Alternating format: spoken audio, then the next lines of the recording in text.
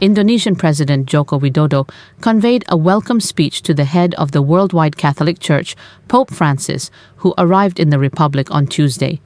The Pope is on the first leg of an ambitious 12 day Asia Pacific tour. Kunjungan ini adalah kunjungan yang sangat bersejarah. Sudah direncanakan beberapa tahun yang lalu, tapi tertunda karena pandemi COVID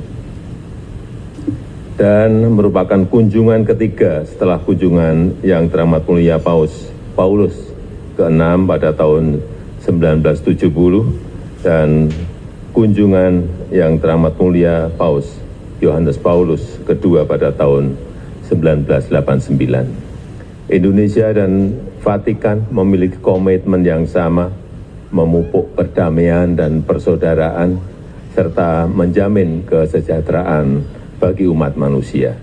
The Pope is scheduled to meet Jokowi and the country's political leaders on Wednesday at the Merdeka Palace in Jakarta, followed by an interfaith gathering at Istiklal Mosque and a grand scale mass at the city's stadium on Thursday.